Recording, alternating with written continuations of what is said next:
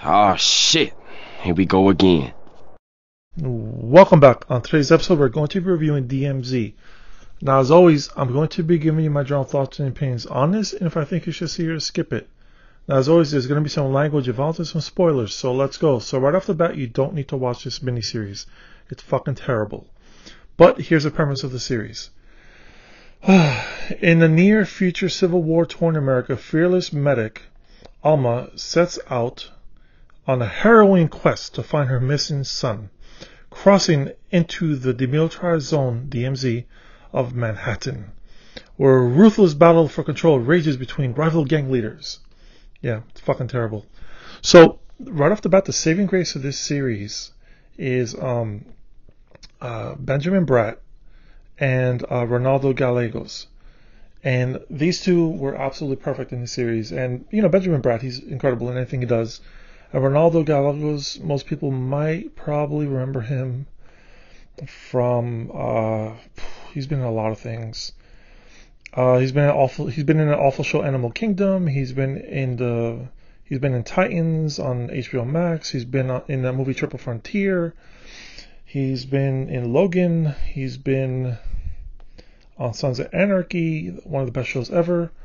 Um, so yeah, so those two were great. And what's sad about this series is that it stars Rosario Dawson as um, Alma. Now Rosario is usually really good in everything she does, but here it's just a miss. It, it's I don't know, I don't know what the hell's going on, but it, it's just she's not good in this series, and I think a lot of it has to do with the directors yeah, two, which you know right off the bat that's not good.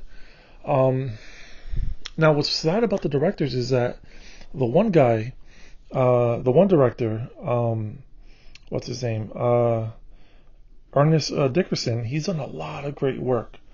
Then the other director is Anna du- DuVernay. She's right now working on that show Naomi on CW. Yeah, you're like, what the fuck is that? Exactly. Show's not doing very well it's not tracking very well, and I wouldn't be surprised if it gets canceled or, or, or whatever. But the problem with her is that she pushes racial agendas too hard, and you see that in this series too.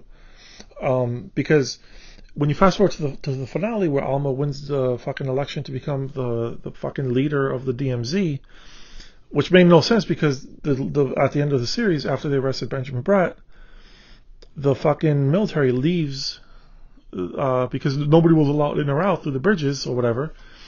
But when they arrest him, all of a sudden the military leaves, opening up the pathway to, for people to leave. So she basically won an election for no reason. Okay, cool. That was stupid, if you ever tell me. Um, so, oh, and what's funny about that is, so at the end of the election, they said about 200,000 people voted. Cool. Now you have two, about 200,000 people on the island of Manhattan. How are you eating? Okay, because between the time of the series started, um, where Alma was trying to get on an evacuation bus and her son got lost, to the time where she actually found her son, it was about an eight year gap. So, for those eight years, how are you eating? How are you fucking living?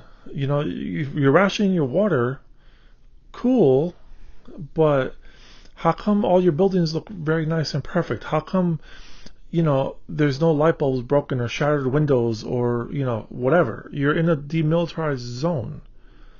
Okay? You know, and then the other problem with the series is that everyone's fucking sitting there brooding each other and trying to look at you with all these hard stares and shit like that. It's like, oh my god, just stop it. And the other thing is that the series is supposed to be serious, but yet it's shot all lovely and colorful and it kind of contradicts itself. You know, there's all these you know neon lights and this and that. Again, you're eight years into the future. How do you have neon lights still working, and you have like 200,000 people on this island? Like, just you know, it just makes no sense. There's a lot of things that are just faulty in this series, and it's just really badly written. It's really bad and you know badly acted. It's so poorly directed. You know, some of the visuals are nice and this and that, but it, it, it's so painful. I, I to finish the series, and then you have the the the episode four, the the the, the series finale, and it just drags on and fucking on and then on and on. Holy shit, man! Like I know a bunch of people or read a bunch of comments where people were like they couldn't finish the first episode. Yeah, and I believe it because it's fucking bad. I was so bored watching this series. I'm sitting there just fucking holding my fa- my head, to, my my my fucking hand to my face. I was just bored out of my mind. You know, and the other thing was so you know Anna, uh, the Anna chick, the Anna director lady, she, what's it called? Where are all the white people in the series? There's a lot of Hispanics. There's a lot of uh, Asian. There's not even that many uh, Indian people in this series, but it's all Hispanic and Asian. Cool, great. Spotlight them. That's awesome. But out of 200,000 people, you have like three white people. Seriously? And they show up at the at the at the last episode, and then all of a sudden, the military is mostly white. Shocker. You know, like, gee, I wonder what you're trying to say there, Anna. God, this series is awful. Um, you know, and it's a shame because they could have done something really spectacular with this, and they didn't. And I think it's just a complete miss. It's so bad. Don't watch it. You know, like you're gonna get, it's gonna aggravate you. They they don't explain a lot of things in the series. You know, and you're better off not watching it. You know, this this review is going on a lot longer than I thought.